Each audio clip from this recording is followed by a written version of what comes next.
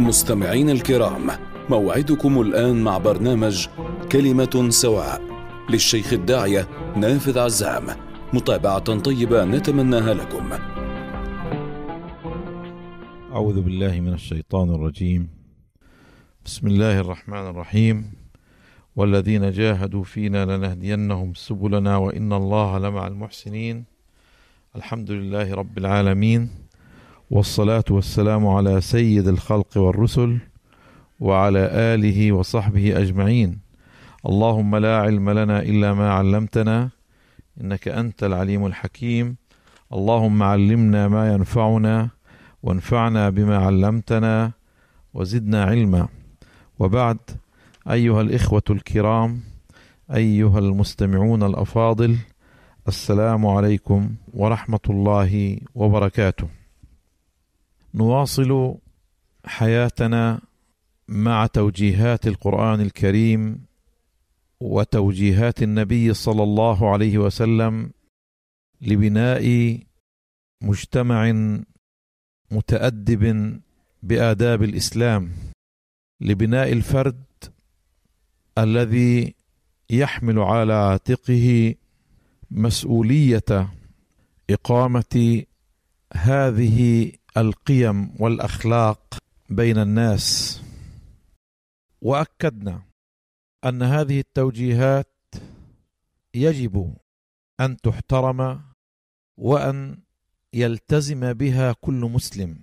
إذا كنا جادين في سعينا للوصول إلى مرضاة الله سبحانه وتعالى وإذا كنا حريصين على تماسك المجتمع وقوة بنيان الأمة. نهي واضح وصريح عن الظن نهي واضح وصريح عن التجسس وتتبع عورات الناس نهي واضح وصريح عن الغيبة وكل ما يترافق مع هذه الآفات من مسالك. نعم. وكما أكدنا بالأمس النبي صلى الله عليه وسلم يوجه الناس إلى البعد عن الظن وإلى البعد عن اية إجراءات يقيمها الناس بناء على الظنون. إذا ظننت فلا تحقق. نهي عن الظن نهي عن التجسس الذي يستتبع الظنون السيئة نهي عن الغيبة. ولا يغتب بعضكم بعضا. أيحب أحدكم أن يأكل لحم أخيه ميتا فكرهتموه؟ نعم. الغيبة من الآفات الخطيرة التي تعصف بالمجتمعات. حذر الإسلام منها كثيرا. هنا تحذير واضح من القرآن الكريم. ولا يغتب بعضكم بعضا. دائما نحن نقول إن طريقة تعاملنا مع القرآن الكريم يجب أن تكتسي بالفاعلية والجدية والالتزام. عندما نرى نهيا صريحا بهذا الشكل فيجب أن ننتهي ويجب أن نتوقف عن هذه السلوك وعن هذه الأخلاق التي هي آفات وأمراض. نعم والنبي صلى الله عليه وسلم يسأل أصحابه أتدرون ما الغيبة كان يسألهم هذا السؤال أتدرون ما الغيبة؟ قالوا الله ورسوله أعلم قال الغيبة ذكرك أخاك بما يكره نعم أتدرون ما الغيبة؟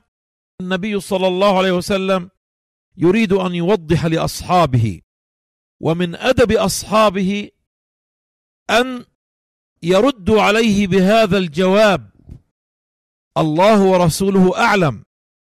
أتدرون ما الغيبة؟ قالوا الله ورسوله أعلم.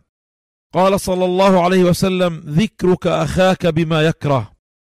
قيل أفرأيت إن كان في أخي ما أقول؟ أرأيت يردون على النبي صلى الله عليه وسلم؟ أرأيت إن كان فيه هذا الذي نقوله أرأيت إن كان فيه هذا العيب؟ أرأيت إن كان فيه هذا الخلق؟ أرأيت إن كان فيه هذا الشيء؟ يقول النبي صلى الله عليه وسلم في رده عليهم يقول إن كان فيه ما تقول فقد اغتبته وإن لم يكن فيه ما تقول فقد بهته. على الوجهين وفي كل الأحوال لا يجوز أن تغتاب إنسانا ما.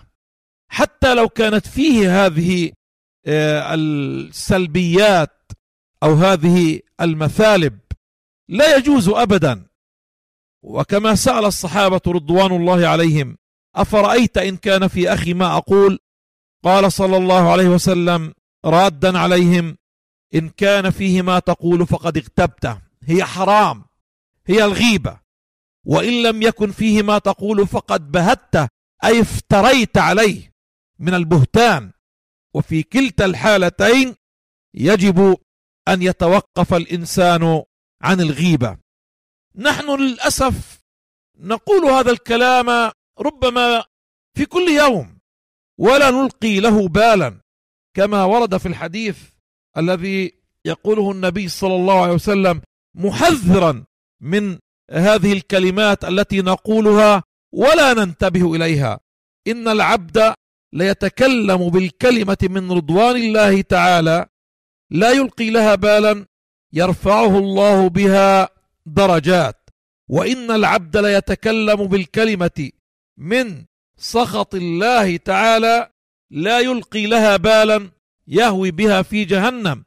الإنسان الذي لا ينتبه لكلامه يقول مثل هذه الكلمات.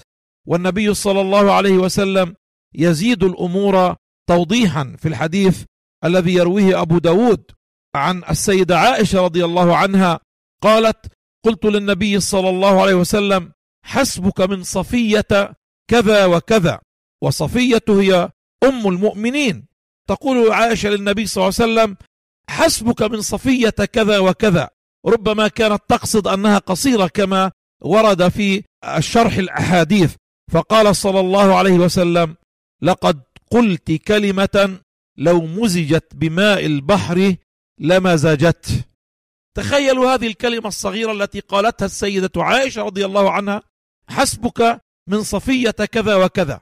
هي تريد أن تنفر النبي صلى الله عليه وسلم من صفية أو قالت في معرض آه، الحديث إنها قصيرة.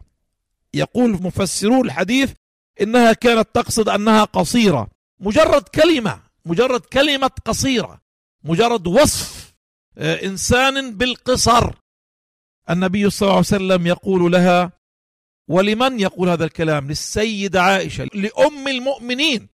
التوجيه لا يجوز أن يكون فيه مجاملة على الإطلاق. رغم حب النبي صلى الله عليه وسلم للسيدة عائشة رغم المكانة التي كانت تحتلها في قلب النبي صلى الله عليه وسلم وفي قلوب الأمة كلها. النبي عليه الصلاة والسلام لا يسكت عن خطأ. قال لها لقد قلت كلمة لو مزجت بماء البحر لمزجتش لمزجت كلمة يكفي أن تلوث ماء البحر. ما هي هذه الكلمة؟ كلمة قصيرة. لماذا لا نراجع أنفسنا إذا ونحن ربما نقول كلمات أشد صعوبة من كلمة قصيرة.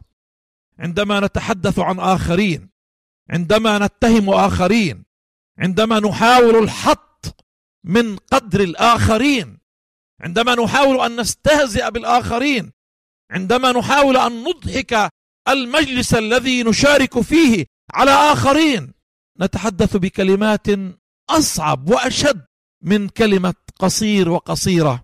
هذه الكلمة في ميزان الإسلام تلوث البحر. تخيلوا البحر كلمة كهذه تلوث ماء البحر من سوءها ومن سلبيتها.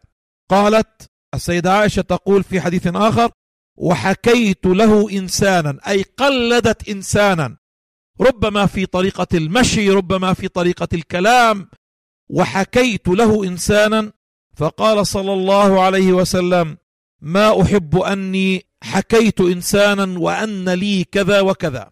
لا أحب أبدا ولا أتمنى أن أقلد إنسانا أو أستهزئ بإنسان حتى لو كانت الدنيا كلها لي. نعم هذه الأخلاق. ويروي أبو داود بإسناده عن أنس بن مالك رضي الله عنهم أجمعين قال قال رسول الله صلى الله عليه وسلم لما عرج بي مررت بقوم لهم أظفار من نحاس يخمشون وجوههم وصدورهم يضربون بها وجوههم وصدورهم يشوهون بها وجوههم وصدورهم. تخيلوا أن النحاس عندما آه، آه، يضرب به الوجه أو الصدر يخمشون وجوههم وصدورهم قلت من هؤلاء يا جبريل؟ قال هؤلاء الذين يأكلون لحوم الناس ويقعون في أعراضهم. هؤلاء الذين يلوكون أعراض الناس. هؤلاء الذين يثرثرون بسيرة الآخرين. هل أدركنا كمية الأخطاء التي نرتكبها دون أن ندري؟ وحتى لو كنا ندري. نفعل هذا. كلمة بسيطة كوصف إنسان بالقصر. يعتبر النبي صلى الله عليه وسلم أنها تلوث ماء البحر من نتنها وعفنها. تخيلوا أن النبي صلى الله عليه وسلم مر على هؤلاء ليلة الإسراء والمعراج مر بأقوام لهم أظفار من نحاس يخمشون بها وجوههم وصدورهم. قلت من هؤلاء يا جبريل؟ قال هؤلاء الذين يأكلون لحوم الناس ويقعون في أعراضهم ولا يغتب بعضكم بعضا.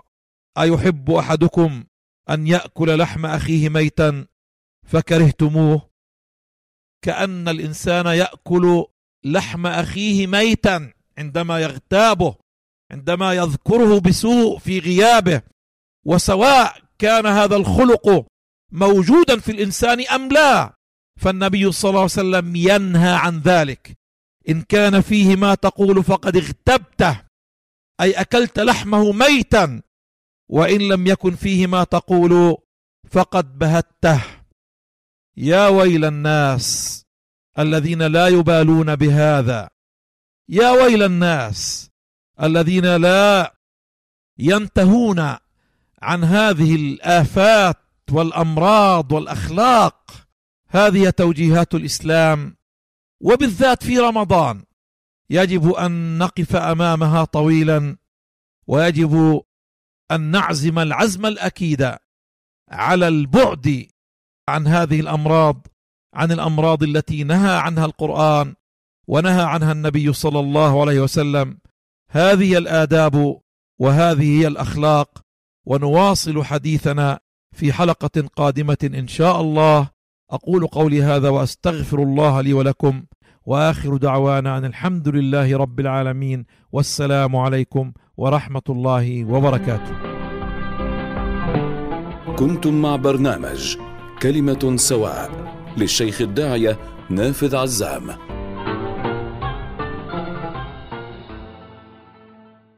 إذاعة صوت القدس صوت حر لشعب حر.